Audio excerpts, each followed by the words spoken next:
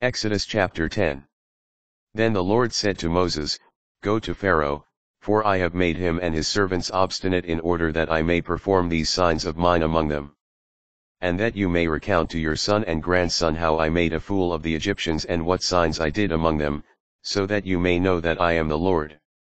So Moses and Aaron went to Pharaoh and told him, Thus says the Lord, the God of the Hebrews, How long will you refuse to submit to me? Let my people go to serve me. For if you refuse to let my people go, tomorrow I will bring locusts into your territory. They will cover the surface of the earth, so that the earth itself will not be visible.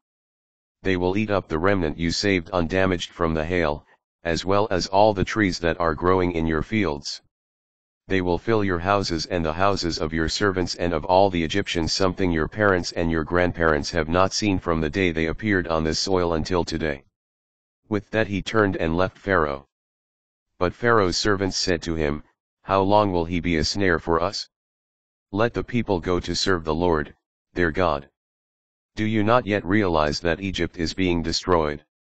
So Moses and Aaron were brought back to Pharaoh, who said to them, Go, serve the Lord, your God.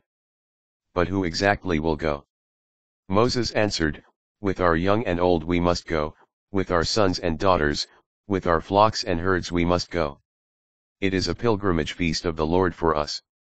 The Lord help you, Pharaoh replied, if I let your little ones go with you.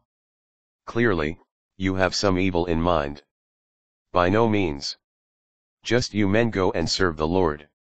After all, that is what you have been asking for. With that they were driven from Pharaoh's presence.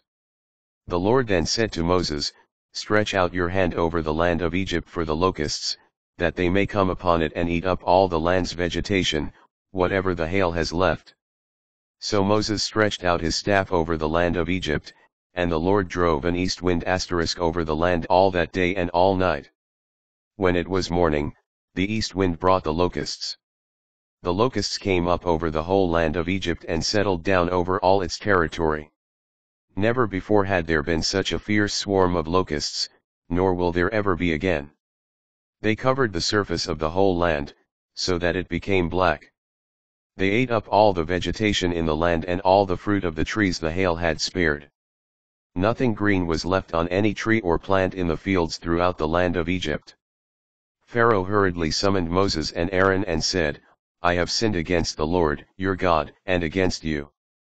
But now, do forgive me my sin only this once, and pray to the Lord, your God, only to take this death from me. When Moses left Pharaoh, he prayed to the Lord. And the Lord caused the wind to shift to a very strong west wind, which took up the locusts and hurled them into the Red Sea. Not a single locust remained within the whole territory of Egypt. Yet the Lord hardened Pharaoh's heart, and he would not let the Israelites go. Ninth plague, the darkness.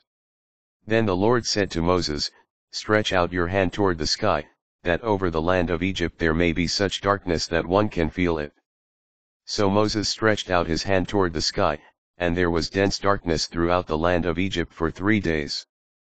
People could not see one another, nor could they get up from where they were, for three days. But all the Israelites had light where they lived. Pharaoh then summoned Moses and Aaron and said, Go, serve the Lord. Only your flocks and herds will be detained. Even your little ones may go with you.